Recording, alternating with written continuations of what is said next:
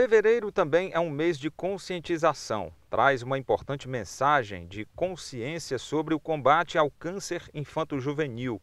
O Instituto Nacional do Câncer estima que a cada dois anos surgirão quase 3 mil novos casos de câncer infanto-juvenil no Nordeste. Com relação aos principais sinais e sintomas do câncer infanto-juvenil, é a questão da perda progressiva de peso, é a febre persistente, dor de cabeça que não consegue se chegar a um diagnóstico preciso, vômitos ao acordar, manchas roxas pelo corpo.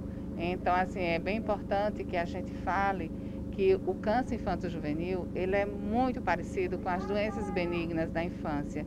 Daí a importância do diagnóstico precoce. A leucemia é um tipo de câncer que afeta partículas do sangue e com altas taxas de mortalidade no Brasil provoca uma mutação na medula óssea e se multiplica assustadoramente, ocupando o lugar das células saudáveis.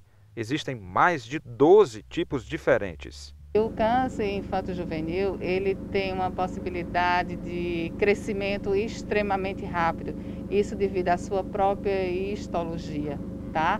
Então, mais uma vez, eu faço a comparação com o câncer de adulto, né, que tem um crescimento mais lento. O Hospital Infantil Albert Sabin é uma grande referência no Ceará no tratamento contra o câncer.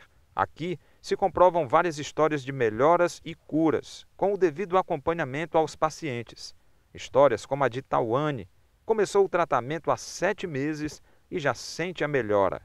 A gente já foi informado pela doutora que ela já não tem mais nada no sangue, só que aí tem que fazer o tratamento até o final. É uma doença com potencial destruidor muito grande, mas quando descoberta precocemente, aumenta também as chances de cura. Quanto mais cedo tratar, menos complicações.